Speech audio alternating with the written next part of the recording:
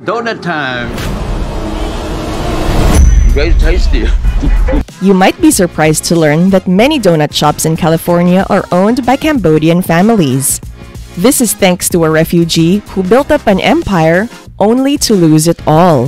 He became known as the Donut King. They call me Donut King. Ted Ngoy was a high school student in Phnom Penh when he first set eyes on Suganthini Khoeun, the daughter of a high-ranking government official.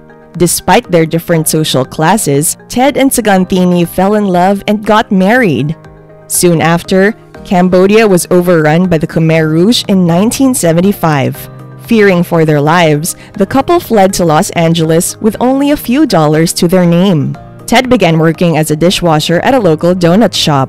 He quickly rose up the ranks, eventually buying out his boss in 1976. Ngoy saw opportunity in donuts. They were inexpensive to make and easy to sell. In 1978, Ted heard of an opportunity to buy a donut shop at a discounted price in what was then known as Little Saigon, located in Westminster, California. He pooled together his savings plus whatever money he could borrow from family and friends and invested it into purchasing the shop, which he named Chateau Donuts. He was committed to hard work and long hours. He worked seven days a week without fail for several years while he opened up more shops across California, then expanded into Arizona, Texas, and Nevada, building his donut empire. Within three years, Ted had become a millionaire as his empire grew to more than 70 stores in just five states. The king expanded his empire quickly by hiring dozens of Cambodian refugees to come to Los Angeles to work for him. He provided them with training and a living wage, allowing them to learn the ropes of the business. This allowed Ted's business to grow quickly as people began recognizing his donuts as superior in quality.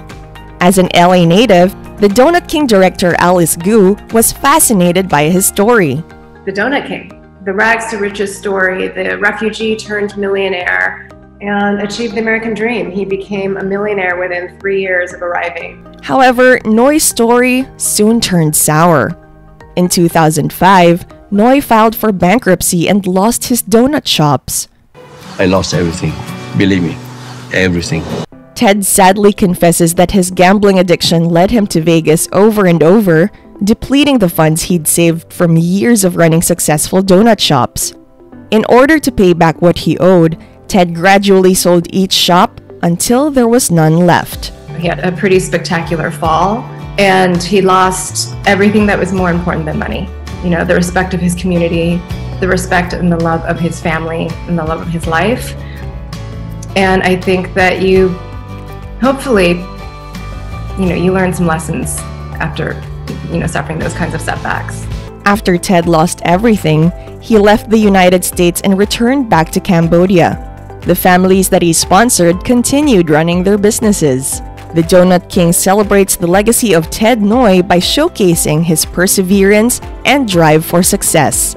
It is a reminder that anyone can achieve their dreams no matter where they come from or what obstacles life throws at them.